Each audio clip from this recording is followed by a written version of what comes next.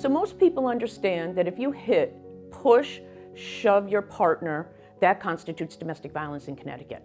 I'm Linda Blose. I'm the Director of Training and Prevention for the Connecticut Coalition Against Domestic Violence. And I'm Jillian Gilchrist, Director of Health Professional Outreach here at the Coalition. And we're here to talk about domestic violence. So what is domestic violence?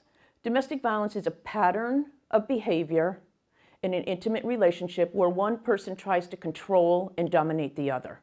So there's various different methods that abusers will use to control their partner. Most common that comes to mind for folks is the physical violence, and certainly physical abuse is a method of control that an abuser will use. But abusers use emo emotional or psychological control, so they will belittle their partner, uh, maybe calling their partner fat or stupid or saying, who would ever be with you, and that belittling takes place over time. Another method of control an abuser might use is financial control. So not allowing their partner to have access to the finances in the house, not allowing their partner to work, uh, limiting the amount of money that that partner can use.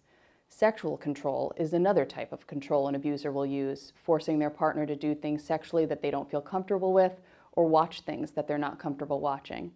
And more so today than ever before, we're seeing technological control.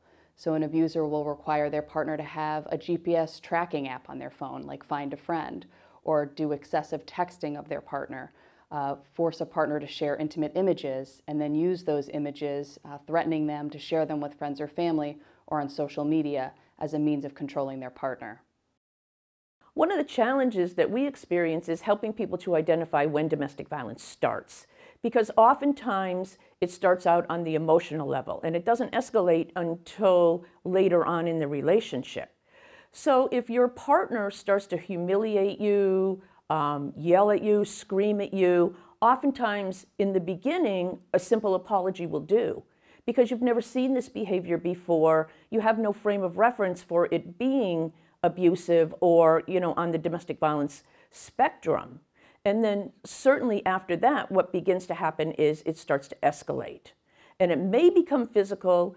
It may also escalate in terms of like uh, what Jillian said, sexual behavior, uh, inappropriate sexual requests, uh, technology, stalking someone. One of the things that we talk a lot about is what I call the big three, is stalking, strangulation, and weapons. If we see those in any relationship, we know what's going to happen is, is that that could potentially escalate to lethality.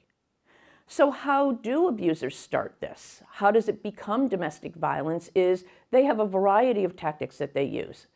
So one basic one is that they look to isolate their victim. So oftentimes what we see is that when we talk to them, the only person in their life now is that abusive partner of theirs. They've lost family, they've lost friends. I ask people, do you feel like your social circle is getting smaller and smaller because that may be an indication that you're experiencing some domestic violence? They use the children, okay? If they're in the relationship or the relationship has separated, they use the children to have constant contact with that victim. Oftentimes, often what else will happen is, is that they'll use social media to degrade, to belittle their partners as well.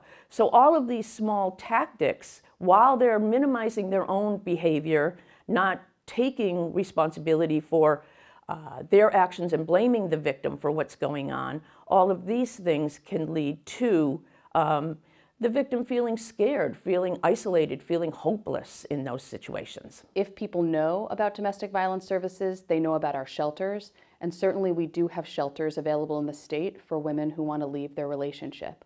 But we also have one-on-one counseling, which is entirely free and confidential, and our advocates are trained to meet a victim where they're at, to talk through different safety planning or different options of how life can be um, once you've left that relationship. Uh, we also have advocates who are in the courts available to help someone walk through a restraining order process. Um, and so many of our advocates are trained on what safety planning is, and Linda can tell you a little bit more about that. So safety planning is one of the most important things that we do with a victim. We want to ensure at all points in that individual's life that we can help her to remain as safe as possible with the understanding that we can't control for the abuser's behavior, but what we can do is put some steps into place so that she thinks about how she can best work to keep herself safe and what she's also done in the past to stay safe.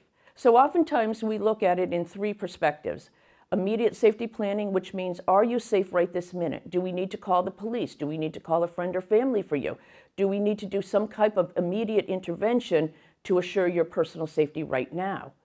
Then, as we move further, depending upon what you choose, if you choose to stay in the relationship, because many women don't want to leave the relationship, they just want the violence to end. So, if you choose to stay in the relationship, how can we keep yourself safe? One example of this is where do you keep your car keys if you have a car or your bus pass or whatever it is for your method of transportation? If you're keeping it in your bedroom and you've got to run back into your bedroom before you leave the house, it's just going to take that much longer and that violence could escalate during that time. So we say keep it right by the door that you're going to leave in. If you have a handbag, keep it right by the door where you're going to leave.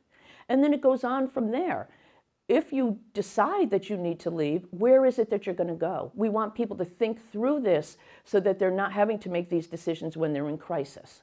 And then on a longer term fashion is if you decide that eventually you want to leave your abusive partner, where are you going to go? What do you need to do that? Okay? Do you have copies of your important papers? Do you have friends and family that you can stay with? Do you have adequate resources or the potential to have adequate resources to be able to leave?